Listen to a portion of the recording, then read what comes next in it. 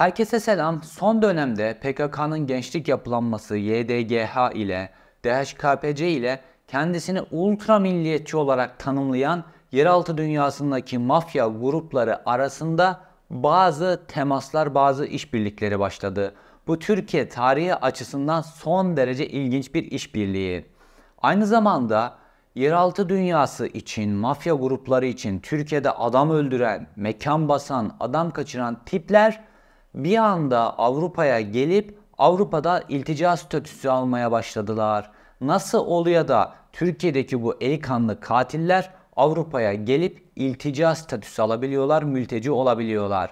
Aynı zamanda yeraltı dünyasında böyle ağır silahların kullanıldığı alt gruplar oluşulmaya başladı ve bu kişiler bu ağır silahları kullanmayı PKK'nın gençlik yapılanması YDGH'da, DHKPC'de öğreniyorlar. Sonra yeraltı dünyasındaki mafya gruplarına hizmet vermeye başlıyorlar. Kendisini milliyetçi olarak tanıtan mafya gruplarına. Bu milliyetçi mafya gruplarıyla bu kişiler, bu gruplar arasındaki geçişkenlik nasıl? Bunlar nasıl buralardan edam devşiriyorlar ve ne tip suçlara imza atıyorlar? Çok ağır silahlardan bahsediyoruz. Tam, tam otomatik makineli tüfeklerden, suikast tüfeklerinden filan bahsediyoruz. Bunların bulunması, temin edilmesi bir mesele. Bunların yeraltı dünyasında kullanılması ayrı mesele. Fakat Avrupa ile Türkiye arasında oluşan bir hat var. Nasıl oluyor da bu hatta bu elikanlı katiller bir anda Avrupa'da politik mülteci statüsünü kazanıyorlar. Burada nasıl bir organizasyon, nasıl sahte evraklar, nasıl sahtecilik işliyor? Bunların hepsinin detaylarını bulacağınız ve bu yeni ağır makineli tüfekli mafya gruplarıyla ilgili de detaylarını bulacağınız yine bilgi dolu, yine dop dolu bir videoyla karşınızdayım.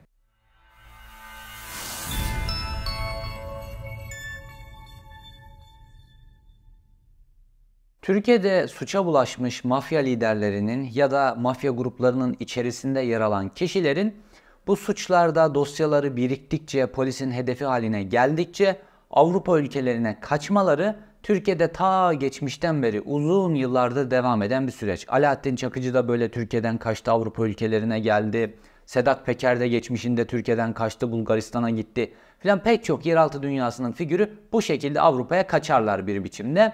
Buna e, Abdullah Çatlı filan da dahildir bunların hepsine. Fakat bunların hepsi bir biçimde Avrupa ülkelerinden geri iade ediliyordu Türkiye'ye.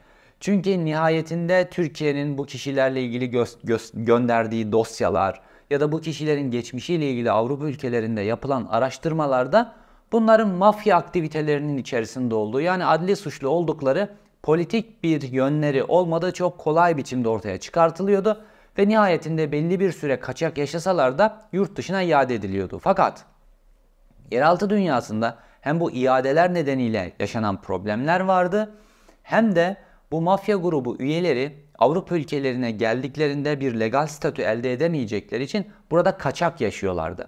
Kaçak yaşayınca bir ev kiralamak filan kaçak yaşayan için mümkün değil. Böyle olunca araya bir aracı koyuyorlar ve o evin fiyatı inanılmaz astronomik rakamlara geliyor. E, kaçak oldukları için kaçak işlerde çok ucuz rakamlarla çalışıyorlar filan.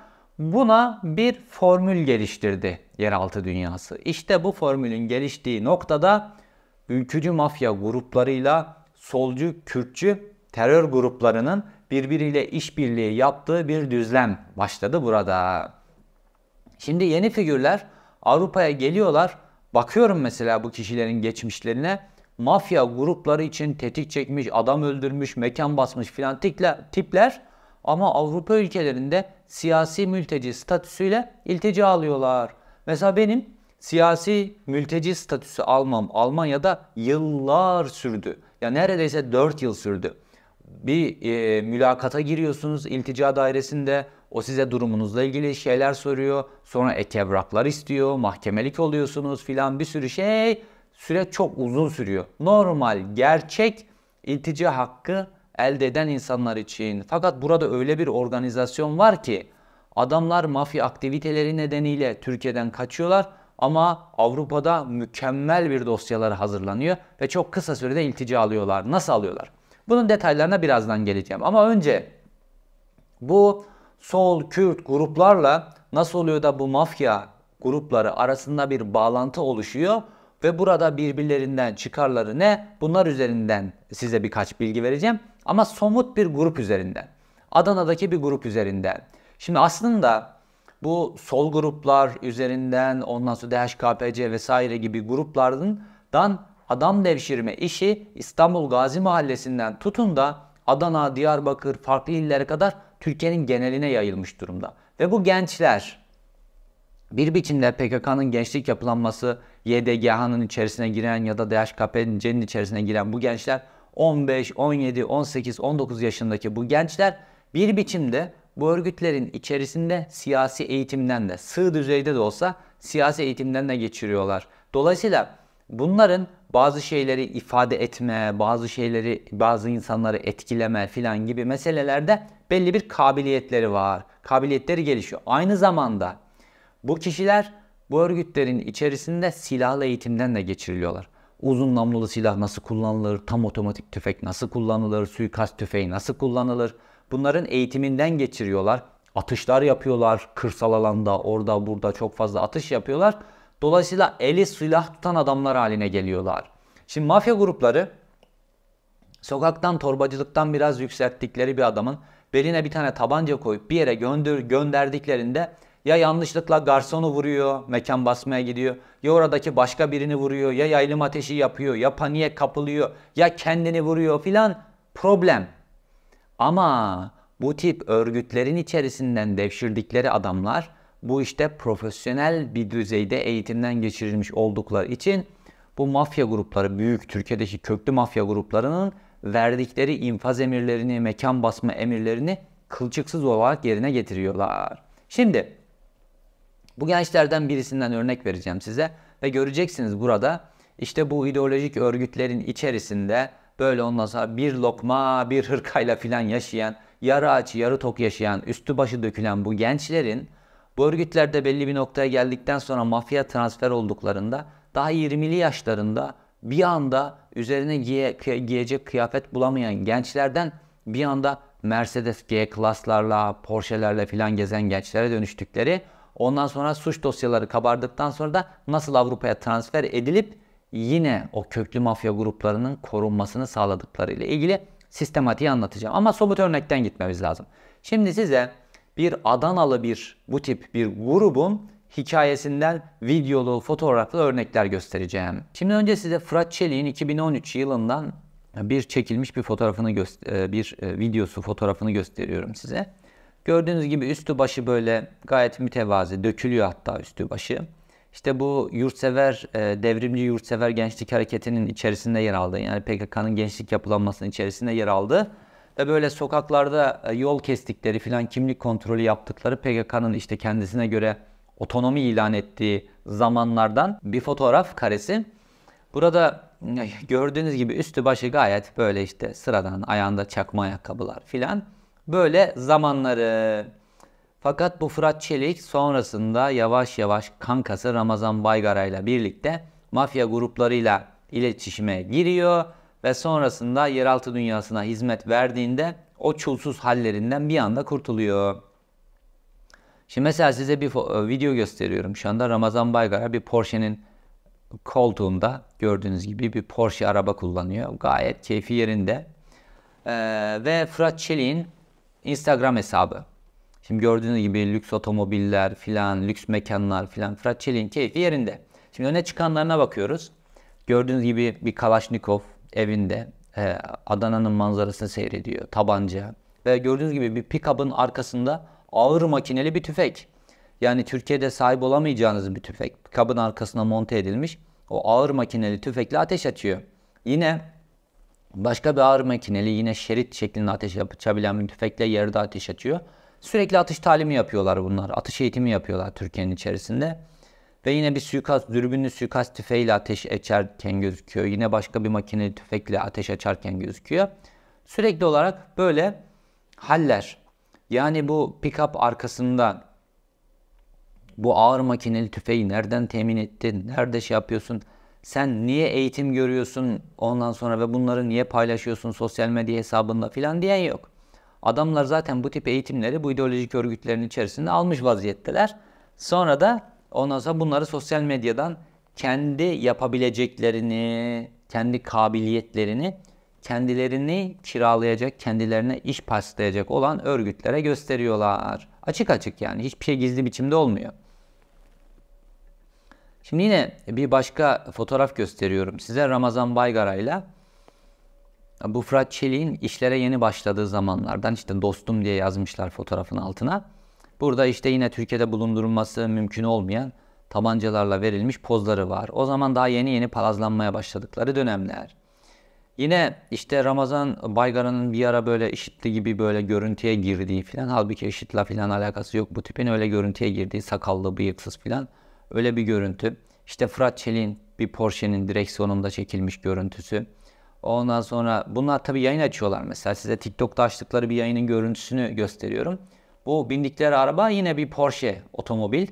Ondan sonra gayet keyifliler artık. Keyifleri yerinde yayın açıyorlar, geyik yapıyorlar filan. Artık yolunu bulmuşlar. Güneş gözlükleri, kıyafetler, arabalar filan o biçim. Artık e, bulmuşlar yani parayı. Yine Ramazan'ın işte bir başka Porsche otomobilden filan çekilmiş görüntüsü. Ondan sonra BMW'ler filan böyle güzel kıyafetler, lüks mekanlar. Ondan sonra G-Class Mercedesler filan böyle her şey yerinde yani. Ondan sonra hiç artık hiçbir şey marka kıyafetler filan tatil köylerine gitmeler filan. Artık keyifleri yerinde.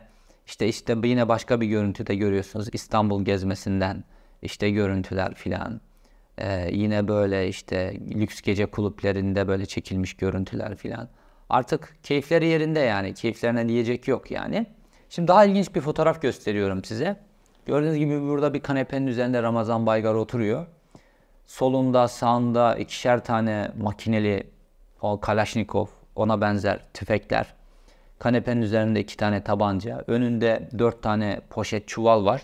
Çuvallar ağzına kadar bu mermilerle dolu. Bu yivli tüfeklerde kullanılabilecek mermiler. Orada bir de paketli bir şeyler var. Herhalde içerisinde patlayıcı mı var ne varsa kendi kapasitelerini gösteriyor. Bu kişiler yine başka bir fotoğraf. Burada omuzdan ateşlenen bir silah var. Bu omuzdan ateşlenen silahta e, bazuka mı artık buna ne diyorlarsa normalde Türkiye'de bulundurmanız mümkün değil ama bunların üyelerinin var. Ondan sonra yine grup üyelerini gösterdikleri toplu bir fotoğraf. Bunları filan hep e, paylaşıyorlar TikTok'ta. Yine Ramazan Baykara'nın daha çok parayı bulmadığı zamanlardan bir fotoğraf karesi gördüğünüz gibi Amerikan askerlerinin kullandığı bir tüfek, ona ait bir şarjör ve tabancayla filan çekilmiş bir fotoğraf. Yine son bir fotoğraf karesi daha göstereyim. Yine bunların grup üyelerinden bir tanesi. Ee, gördüğünüz gibi dürbünlü bir suikast tüfeği. Dürbünlü bir suikast tüfeğiyle çekilmiş bir fotoğraf filan. Artık YDGH zamanlarından mı yoksa sonrasındaki eğitim yaptıkları Adana mahallelerindeki zamanlardan mı bilinmez. Şimdi tabi bunların örgütte olduğu zamanlar sağa sola molotof konkteyli at, ses bombası at, bir yere duvara yazılama yap filan. Bunda para yok, pul yok, şan yok, şöhret yok, kadın yok, hiçbir şey yok. Sonra bunları yavaş yavaş bu mafya örgütleri, Türkiye'de artık mafya çok büyüdü ya. Hep anlatıyorum size, devlet olmaya başladılar yavaş yavaş. Çok büyüyünce bu imkanları da keşfettiler. Çünkü mafya grupları çok büyüyünce kendileri artık öylesine bir elit yaşama geçtiler ki normal böyle mahalledeki böyle mahallelerde bulacağı torbacı yapacakları filan gençlerle artık temas kuramaz hale geldiler. Kendileri rezidanslarda filan 7 yıldızlı otellerde filan ayrı dünyalarda yaşıyorlar. Artık böyle bu tabanda torbacı yapacak gençleri bulamıyorlar. Fakat bu tip yapılanmalar içerisinden devşirdikleri adamlar aynı zamanda fakir mahallelerden geliyorlar. Dolayısıyla bunlar fakir mahallelerden, içinden çıkıp geldikleri mahallelerden torbacılar buluyorlar. Ondan sonra torbacılara biraz para veriyorlar. Hapse girerlerse onlara biraz hapishanede bakıyorlar filan. Kendileri de bir anda ideolojik örgütler içerisinde silahlı ve ideolojik eğitim görmüş kişilerken bir anda mafyanın taşeronu haline geliyorlar. Ve meteliğe kurşun atan, üstleri dökülen kişilerden bir anda G-Class Mercedeslerle, Porsche'lerle filan gezen çocuklara dönüşüyorlar.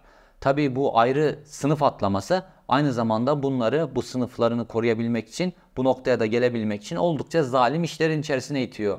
Dolayısıyla bu büyük mafya grupları bunlara infaz emirleri veriyor, mekan basma emirleri veriyor. İş paslıyorlar bunlara. Mesela Adana'daki bu gruplar mesela 3 milyona bir adam indiriyorlar. Yani orada 7 Emin gibi birisi oluyor. Bu mafya grubu, ana mafya grubu o 7 Emin gibi kişiye 3 milyonu gönderiyor. Sonra bunlar gidiyorlar, işi bitiriyorlar. Sonra 7 Emin gibi olan emanetçi kişiden gidip paralarını alıyorlar. Adamın büyüklüğüne göre. Mesela adam Halil Falyalı falan gibi öyle klasmandaysa milyon dolarlar konuşuluyor. Normal filan o bir mafya grubunun bir hedefi ise filan 3 milyondan başlıyor. 3-5 yavaş yavaş değişen aşamaları var. Fakat bunlar iyi silahlı eğitim gördükleri için bunlar infazı çok güzel yapıyorlar. Tabi bu kişilerin yavaş yavaş haklarındaki dosyalar birikiyor. Şimdi haklarındaki dosyalar birikince polisin yavaş yavaş hedefi haline gelmeye başlayınca eninde sonunda bunlar bir gün alınacak. O alındıkları gün okurlarsa yani kendilerine bu işleri paslayan kişilerle ilgili bilgiler verirlerse durum kötü. O zaman işte ana işi veren büyük mafya gruplarına ulaşacak onların başları derde de girecek. Dolayısıyla işi bunlara teşekkür etmişler. Bunun gibi grup çok. YDGH'nın içerisinde, DHKPC'nin içerisinde böyle çekip bu tarafa getirip lüks hayat sunup filan böyle değiştirecekleri, devşirecekleri adam çok. Dolayısıyla bir grubu belli bir noktaya kadar kullandıktan sonra polisin hedefi olduğunu, polisin içerisindeki, yargının içerisindeki adamlarından öğrendikten sonra bu taşeron gruplara diyorlar ki tamam diyorlar. Senin artık gurbete gitme zamanın geldi. İşte bu noktada Avrupa yolculuğu başlıyor. Bunlar Avrupa'ya gittiklerinde üstelik bu büyük mafya grupları tamamen o suçlardan kurtulmuş oluyorlar. Çünkü dediğim gibi böyle klasik olarak sokaktan devşirdikleri böyle Karadenizli tipler vesaire bunlar böyle yani adli suçlu tiplere bu işleri yaptırdıklarında eninde sonunda Avrupa'dan iade edilecekler. Fakat ideolojik background olan YDG'nin içerisinde, DHKPC'nin içerisinde, sol grupların, Kürt grupların içerisinden gelen kişilerin ideolojik geçmişleri nedeniyle bununla ilgili geçmişlerine ait pek çok şey var. Bunları Avrupa'ya gönderdiklerinde bunların dosyaları hazır olarak gidiyor. Bu mafya gruplarının avukatları var. Bu avukatlar bunların o mafya geçmişleriyle ilgili kısmı tamamen çöpe atıyor. Bunların sadece bu ideolojik geçmişleriyle ilgili kısımlardan işte var olan kayıtlar işte bilmem HDP'nin gençlik yapılanmasına gitmiştir, kaydolmuştur onunla ilgili kayıt. Ondan sonra bir sokakta bir, bir yere molotof atmıştır, onunla ilgili ceza almıştır filan, onunla ilgili kayıt filan. Bunların hepsinden bir dosya oluşturuyorlar. Sonra bu dosyayla Avrupa'ya gidiyor iltica etmek üzerine. Yani dolayısıyla ideolojik sebeplerle gördüğü baskı nedeniyle Avrupa'ya gitmiş bir profil oluşturuyorlar. Şimdi bu profil giderken de bu profil gittiğinde bununla bazı kişilerle ilgili yasal statüler başlamıyor. Yasal e, soruşturmalar filan başlamamış oluyor. Orada da işte yine bu avukatlar devreye giriyorlar. Şimdi bu kişiler YDGA, DHKPC çıkması kişiler Avrupa'ya geçtiklerinde Yunanistan üzerinden lüks yatlarla filan gayet yollar ayarlanmış vaziyette. Para konuşuyor netice itibariyle. Avrupa'ya gittiklerinde hemen gidip ilticaya başvurmuyorlar. Onlar bir yerde saklanıyorlar önce. Sonra bu kişilerin adına sosyal medya hesapları açılıyor. Sonra bu sosyal medya hesaplarından Cumhurbaşkanı eleştiriliyor. Ağır biçimde, hakarete varan biçimlerde eleştiriliyor. Ondan sonra e, Abdullah Öcalan'la ilgili paylaşımlar yapılıyor. İşte devrimci paylaşımlar yapılıyor vesaire. Soruşturma açılabilecek paylaşımlar yapılıyor bu hesaplardan. Bu yeni açılmış hesap. Bunları kimse görmüyor. Ya da kendilerinin var olan hesaplarında bir anda bu şekilde paylaşımlar başlıyor. Sonra bu avukatlar birer tane şikayetçi buluyorlar. Bu şikayetçi gidiyor bu sosyal medya hesapları ile ilgili emniyete şikayette, savcılığa şikayette bulunuyor.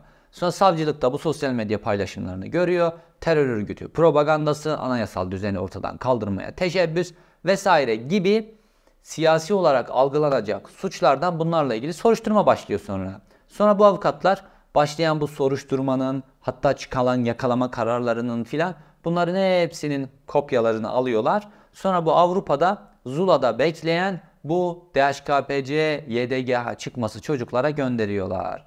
Sonra bunlar da alıyorlar bu dosyaları. Hatta bazıları bunların öyle de olmayabilir filan. Böyle dosyalar oluşturuyorlar bu kişiler hakkında.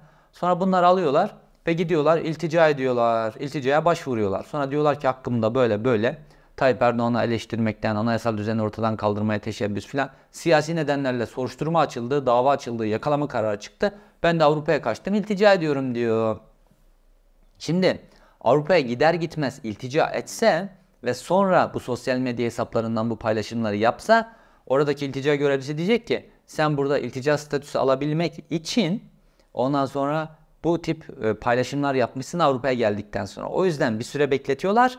Bu paylaşımlar yapılıyor, soruşturma açılıyor vesaire. Ondan sonra sonra gidiyor ki ben yeni geldim falan böyle oldu filan diye. Tık bunlar iltica statüsü alıyorlar. Çünkü dosyalar çok iyi hazırlanmış.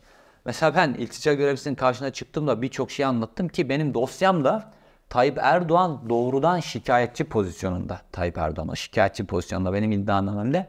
Ona rağmen benim iltica statüsü almam bayağı bir 4 sene sürdü neredeyse. Benimle ilgili biraz karışık durumlar filan da vardı. Böyle millet hemen gitti orada iltica statüsü aldı falan filan gibi düşünüyor. Öyle olmadı. Pek çok kişi de bayağı zorlanıyor. Gerçekten iltica hakkı elde hakkı e, olan insanlar zorlanıyorken bunlar bu iltica hukukunu çözmüş avukat çetesi vesaire bu şekilde üretilmiş deliller, üretilmiş soruşturmalar vesaire üzerinden bu tip stat alıyorlar. Sonra bunlar ne oluyor burada? Artık legal hak kazanmış oluyorlar. Kaçak değiller artık. Legal oturumlar oluyor. Ondan sonra burada şirket açıyorlar. Ondan sonra burada iş yeri açıyorlar. Türkiye'deki o kazandıkları adam öldürmeden, kaçırmadan, çökmeden kazandıkları paraları buraya getirebiliyorlar filan. Bir anda sıfırlanmış bir hayat başlıyor onlar için. Ne kadar güzel değil mi? Paket nasıl? Sol örgütlerin içerisinde, örgütlerin içerisinde çulsuzdun. Gel bir 3-5 yıl bizim adımıza bu tip böyle indirme işlerini, adam öldürme işlerini falan bizim için yap. Sonra Avrupa'daki zaten gitmek istediğin yerde Avrupa'daki sana geleceğimiz hazır. Şimdi peki devlet ne veriyor bu gençlere, bu fakir gençlere? Bu mahallelerdeki, kenar mahallelerdeki fakir gençlere hiçbir şey. Ne bir iş bulacaklarına dair bir umut var. Ne Türkiye'de adil biçimde eşit fırsat eşitliği olduğuna dair bir umut var. Ne analarına, babalarına, yıllarca dürüstçe çalışmış analarına, babalarına baktıklarında elde avuçta bir şey var. E düzen kimin düzeni? Mafya gruplarının düzeni. O mafya gruplarına bakıyorlar. 23-25 yaşında herkesin altında lüks arabalar, hayatları güzel, güzel mekanlar filan. Onların gidip hayatlarında bir kere yemek yiyemeyecekleri mekanlarda her gün adamlar story paylaşıyorlar. Dolayısıyla bu taraftan çekici bir şey var. Artı bu çekiciliğin üzerine bir de bu kadar para kazanacağın, statü kazanacağın bir şey olacak filan. Sonra bir de sana Avrupa'da da bu şekilde bizim organizasyonumuz da yerinde hazır. Avrupa'da legal statünde hazır diyorlar. Sonra adamları devşiriyorlar. Bu biçimde adam geliyor Avrupa'ya hayatının bir bölümüyle ilgili dosyayı veriyor. Hayatının bu mafya aktiviteleriyle ilgili bölümünün dosyasını hiçbir biçimde vermiyor. Ondan sonra ne oluyor? Bu adamlar Avrupa'ya yerleşiyorlar. Ama bu adamların sonrasında bu mafya gruplarıyla bağlantılarının bittiğini mi düşünüyorsunuz? Bence bitmiyor. Çünkü Türkiye'deki bu Türkiye üzerinden Avrupa'ya giden bu uyuşturucu koridoru var olduğu sürece 10 yıllardır var ve 10 yıllardır Türk mafyasıyla Avrupa'daki mafya grupları arasındaki ilişki bu sebeple devam ediyor. Bu kişiler burada Avrupa ülkelerinde oturum aldıkları zaman şirket kurma hakları şunlar bunlar olduktan sonra bu mafya grupları bunlarla tekrar iş yapmaya başlıyor. İşte dağıtım işinden tutun da başka işlere kadar filan. Bunlar yine bu şekilde devam ediyor. Bu size verdiğim örnekte işte Adanalı bir gruptan örnek verdim. Bunlar sosyal medyadan her şeyi paylaşıyorlar. Şimdi Doğan İnci diye bir Adana Emniyet Müdürü var.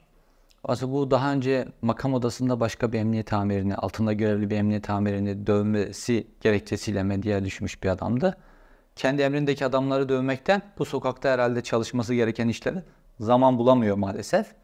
Şimdi bu adamlar sosyal medyadan paylaşıyorlar bu ağır silahları filan, diğer gruplar olan tehditleri, mekan sahiplerine olan tehditleri filan sosyal medyadan paylaşıyorlar. Kimse ilgilenmiyor bununla. Adana'da bunlar serbest herhalde filan. İşte geçtiğimiz günlerde bunlara yönelik filan böyle birkaç küçük operasyon oldu. Tabi bütün Türkiye'deki emniyet müdürleri şimdi böyle Süleyman Soylu'nun gücünü kırabilmek için, finans kaynaklarını kırabilmek için bazı operasyonlar yapılıyor filan ya.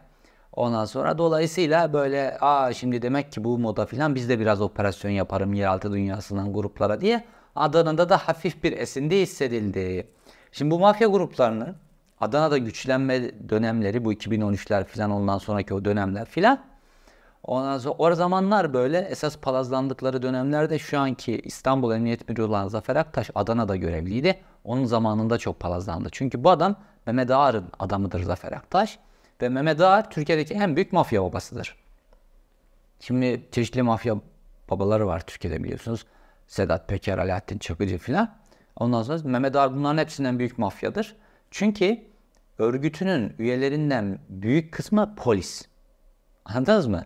Yani Mehmet Ağar bir emniyet, geçmişteki bir emniyet genel müdürü ya da bir İçişleri Bakanlığı, Adalet Bakanı falan yapmış ama bu titirleri yoktur. Mafya lideridir ve onun döneminde kamuya alınmış kişileri de bu mafya örgütünün elemanları olarak kullanır. Dolayısıyla devletin içerisinde böyle bir ağınız olduğunda, gücünüz olduğunda diğer mafya gruplarından daha öne çıkıyorsunuz. Sonra bu Zafer Aktaş İstanbul'a geldi. İstanbul'da da mafyanın acayip güçlendiği dönemler oldu değil mi? Bir dönemdi yani Zafer Aktaş'ın dönemi. Bütün dünyadaki yeraltı dünyasının elemanları İstanbul'a geldiler, yerleştiler. İstanbul'un sokaklarında dünyanın yeraltı baronları birbirlerini öldürdüler filan. İstanbul'da oldu bunlar. Ta birbirlerini öldürünceye kadar İstanbul'da olduklarına dair biz hiçbir şey duymadık. Ta öldürdükten sonra. Ama kim dayak yiyor bununla? Süleyman Soylu dayak yiyor. Ya İstanbul Emniyet Müdürü'nün eli armut mu topluyor?